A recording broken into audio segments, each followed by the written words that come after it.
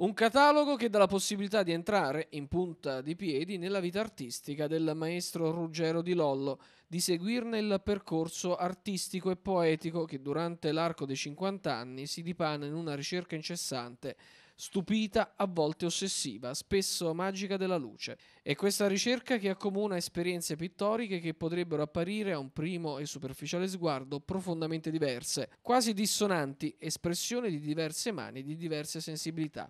Personaggio strano, incompreso, ironico e tragico. Ruggero di Lollo e tutto questo ed altro ancora. Gran parte dei quadri che sono riprodotti, anche le sculture che sono nel libro, sono nati qui a Gaeta.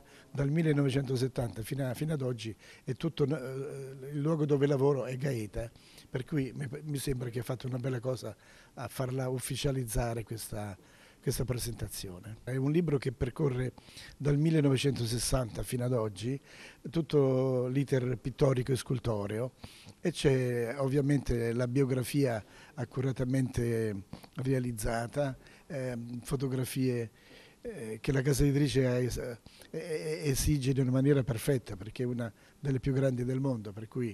Quando nasce effettivamente l'idea di realizzare questo libro e soprattutto perché?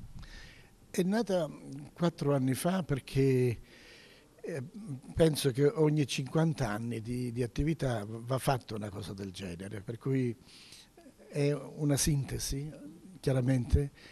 Questo libro ha sette capitoli, il primo che eh, riguarda i quadri della montagna quando ero su un, nel Molise, poi quando eh, ero studente di Belle Arti a Roma, poi dal, dal 1 ottobre 68 arrivai a Gaeta e non sono più andato via e ci sono i pannelli degli anni 70, il Cantico dei Cantici, i quadri del mare, i sacchi de, di mare e le sculture, i monumenti che ho realizzato per gli immigranti, molti, diversi per Padre Pio, eccetera.